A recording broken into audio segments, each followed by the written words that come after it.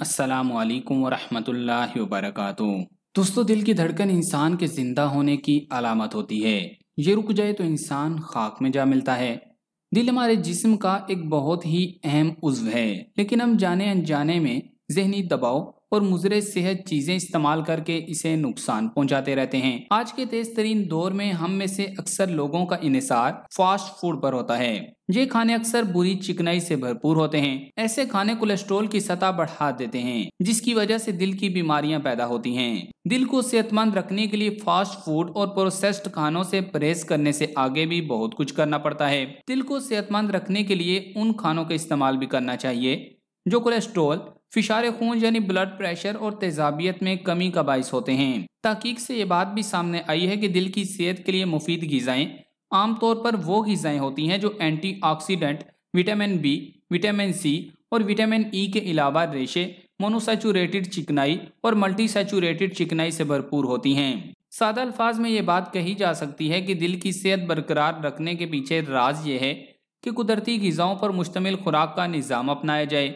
और हत्यालमकान तैयार खानों से दूर रहा जाए। आज हम आपको कुछ ऐसी गज़ाओं का बताएँगे, जो न सिर्फ़ आपके दिल की शरियानों को साफ़ करके आपको सेहतमंद बनाती हैं, बल्कि हार्ट अटैक के खतरात से भी महफूज रखती हैं। तो आगे बढ़ने से कबल आपसे गुजारिश है कि इस वीडियो को लाइक करें और अगर अभी तक आप हमारे चैनल उर्दू लैब का हिस्सा नहीं बने तो उर्दू लैब को सब्सक्राइब करके घंटी का बटन ज़रूर दबा दें। दोस्तों अमराज कल्ब दुनिया भर में अमवात की चंद बड़ी वजूहत में से एक है। खून की शरियानों में मसाइल जैसे उनका अकड़ना, नाकिस गज़ा, जिस्मानी सरगर्मियों से दूरी और तंबाकू नोशी को अमराज कल्ब की आम वजूहत समझा जाता है।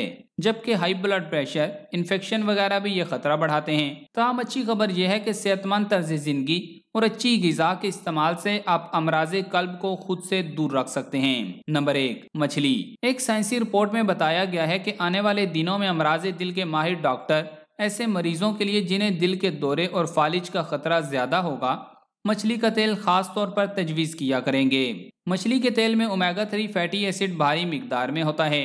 मछली का इस्तेमाल दिल की धड़कन में बेकायदगी और दिल की शरियानों में खून के जम जाने जैसे खतरात से बचाता है। ये मुरकब शरियानों की बीमारियों से महफूज रखने में मददगार साबित होता है। नई तिब्बी तहकीक में माहरीन ने अपनी तवज्जो उन लोगों पर मरकूज रखी है, जिनके खून में कोलेस्ट्रोल की सतह तो कंट्रोल में थी, लेकिन खून में नुकसानदेह चर्बी वाले मादों की मकदार नुमाया तौर पर ज़्यादा थी। तहकीक के दौरान उन्हें मछली के तेल की भारी मकदार दी गई, जिससे उनके खून में शामिल नुकसानदेह चर्बी वाले मादों में 25 फ़ीसद तक कमी देखी गई। इसके अलावा हफ़्ते में चार मरतबा चर्बी वाली मछली खाना, जिसम में फ़ायदेमंद कोलेस्ट्रोल की शरह बढ़ाने और अमराज कल्ब का खतरा कम करने में मदद दे सकता है।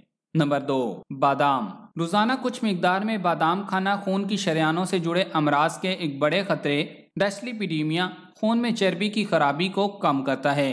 ये ऐसा आर्जा है जिसमें नुकसानदेह एलडीएल कोलेस्ट्रॉल और ट्राइग्लिसराइड की सतह बढ़ जाती है। जबकि फ़ायदेमंद कोलेस्ट्रोल की सतह कम हो जाती है, जिसके नतीजे में अमराज कल्ब का खतरा बढ़ जाता है। बादाम भी मुफीद चिकनाई से भरपूर होता है, जो कोलेस्ट्रोल की सतह को मतदिल रखता है और ये विटामिन ई प्रोटीन और रेशे से भरपूर होता है। इसके अलावा फ्लेक्स बीज भी ओमेगा थ्री रोगनियात और रेशों से भरपूर होता है। नंबर तीन, दलिया।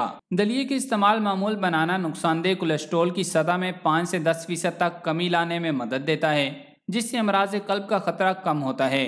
दिल की सेहत के लिए ज़रूरी है कि कोलेस्ट्रोल की सतह को कम रखा जाए और निज़ाम हाजमा के मसाइल से दूर रहा जाए। इसके लिए फाइबर का इस्तेमाल बहुत मुफीद रहता है। फाइबर दलिया, बाजरे और जौ में ज़बरदस्त मकदार में पाया जाता है। बाजरे और जौ में बीटा ग्लूकोन नामी फाइबर पाया जाता है जो इंसानी सेहत के लिए बेशबहा मुफीद है। ये इंसानी जिस्म में न सिर्फ़ इंसुलिन मजामत को कम करता है, बल्कि मदाफती निज़ाम को भी मज़बूत बनाता है। बाजरे और जौ को नाश्ते में शामिल करना इंसानी दिल के लिए मुफीद रहता है। बाज़ार में मिलने वाले सीरियल्स का इस्तेमाल इस हवाले से फ़ायदेमंद नहीं होता, क्योंकि इनमें चीनी शामिल की जाती है। ताहम खाम जौ के दलिए को दूध में भिगोकर इसमें सेब, शहद, खजूर या किशमिश वगैरह के ज़रिए मिठास पैदा करके सेहत के लिए फ़ायदेमंद बनाया जा सकता है। नंबर चार, खुश्क मेवाजात खुश्क मेवाजात में प्रोटीन और फाइबर पाया जाता है, जिससे दिल की बीमारियों को दूर रखने में मदद मिलती है। खुश्क फलों में विटामिन ई भी वाफर मकदार में मौजूद होती है, जिससे कोलेस्ट्रोल कंट्रोल में रहता है। इसलिए मूंगफली, अखरोट वगैरह भी दिल के लिए इंतही मुफीद हैं। नंबर पाँच, डार्क चॉकलेट। कई तिब्बी तहकीकी रिपोर्ट्स में यह बात सामने आ चुकी है कि डार्क चॉकलेट दिल की सेहत के लिए फ़ायदेमंद है। डार्क चॉकलेट के इस्तेमाल कोलेस्ट्रोल को कंट्रोल करता है। डार्क चॉकलेट में चाय की तरह खून को पतला करने वाला फ्लेवोनाइड मादा मौजूद होता है, जो कि शरियानों को लचकदार रखने में मदद देता है। इस मीठी सौगात के नतीजे में खून जमने का इम्कान भी कम होता है, जबकि नुकसानदेह कोलेस्ट्रोल की सतह भी नहीं बढ़ती। साथ ही जिस्मों में सोजिश और खून को जमने से भी बचाता है। ख्याल रहे, ये मादा सिर्फ़ तेज, गहरे रंग की चॉकलेट में मौजूद होता है, हल्के रंग की चॉकलेट में मौजूद नहीं होता। न बच्चे गहरे सब्ज पत्तों वाली सब्ज़ियाँ। सब्ज पत्तों वाली सब्ज़ियाँ जैसे पालक, साग वगैरह दिल को ज़्यादा सेहतमंद बनाती हैं। इनमें मौजूद कैरोटीन एंटीऑक्सीडेंट का काम करके जिस्म को नुकसानदेह मुरकबात से बचाते हैं। गहरे सब्ज पत्तों वाली सब्जियों में vitamin A, vitamin C, vitamin E और विटामिन के बड़ी मिकदार में पाए जाते हैं। इनमें मौजूद एंटीऑक्सीडेंट जिस्म से नुकसानदेह मादों को खारिज करने में अहमियत के हामिल होते हैं। इससे भी बढ़कर यह कि गहरे सब्ज पत्तों वाली सब्ज़ियाँ कैल्शियम, मैग्नीशियम और पोटाशियम से भी भरपूर होती हैं, जो इन्हें सेहतमंद दिल के लिए ज़रूरी बनाती हैं। नंबर सात, फोलिक एसिड वाली गजाएँ। फोलिक एसिड विटामिन ई ही की एक किस्म है। ये हयातीन नए खुलिये बनाने में भी काम आता है। माहरीन तिब का कहना है कि जो मर्दो सन रोज़ाना मतलूबा मकदार में फोलिक एसिड लें, वो अमराज कल में मुबतला होने से महफूज रहते हैं। लिहाजा फोलिक एसिड वाली गजाओं को अपनी रोज़मर्रा खुराक में शामिल रखिए। ये हयातीन गाय के जिगर, साग, चावल, शाह, गोभी और फलियों में मिलता है। बच्चों को 200 और बालगों को योमिया 400 माइक्रोग्राम फोलिक एसिड की ज़रूरत होती है। नंबर आठ, जैतून का तेल। दिन में दो चम्मच जैतून का तेल कोलेस्ट्रोल और खून में शुगर की मिकदार को कंट्रोल करता है। रोगने जैतून में मोनोसेचुरेटेड चिकनाई और आलियक एसिड पाए जाते हैं, जो अमराज कल में मुबतला होने के खतरात को कम करते हैं। नंबर नौ, सब्ज चाय। सब्ज चाय का सिर्फ़ एक कप ही कोलेस्ट्रॉल के नतीजे में खून जमने की रोकथाम करने के लिए काफ़ी है।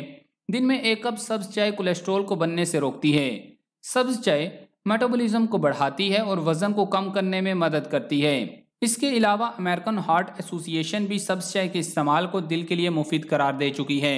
नंबर दस, मुतफरद फल। अनार में एंटीऑक्सीडेंट मौजूद होते हैं जो ब्लड प्रेशर को कंट्रोल करते हैं। ये खून की गर्दिश को मामूल पर लाते हैं और हीमोग्लोबन को बढ़ाते हैं। ग्रेप फ्रूट एक ज़बरदस्त फल है।